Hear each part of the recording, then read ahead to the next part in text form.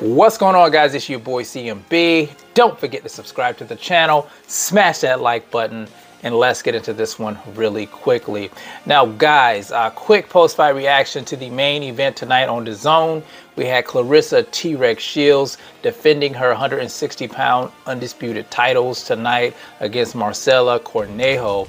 Now, if you didn't know, Cornejo was a last minute replacement for Hanna Gabriels, who actually popped hot for an illegal banned substance. Uh, quite disappointed in that. I was honestly, guys, I was looking forward to the rematch between the two.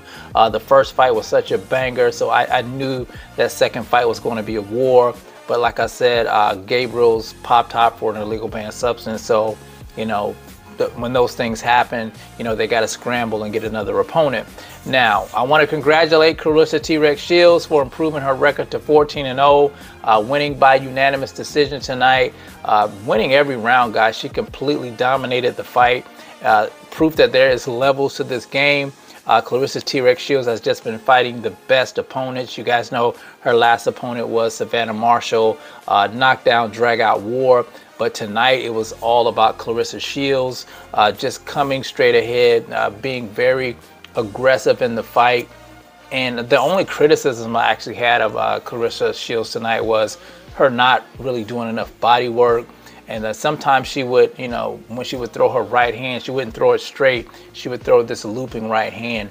And uh, those are the only criticisms I had of her tonight. But she looked excellent tonight. Uh, my hat goes off to her. She's been doing such big things in the sport of boxing.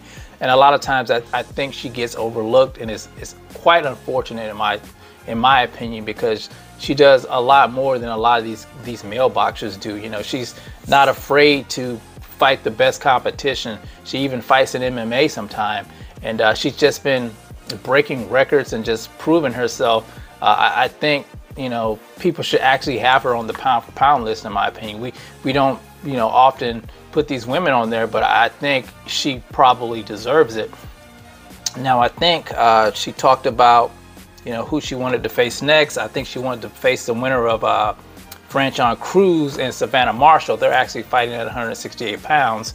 So I guess uh, Claressa Shield would have to go up to 168 and face the winner of that fight. So that's interesting in itself.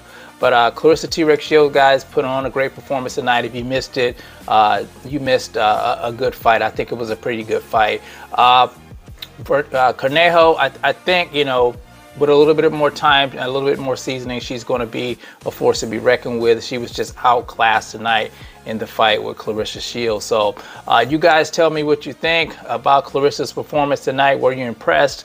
Uh, were you disappointed that Hanna Gabriels popped hot for an illegal banned substance? Uh, how do you feel about uh, Cornejo's performance? You guys let me know about it in the comment section. It's the CMB. I'll talk to you guys in the next one. And I'm out. Peace.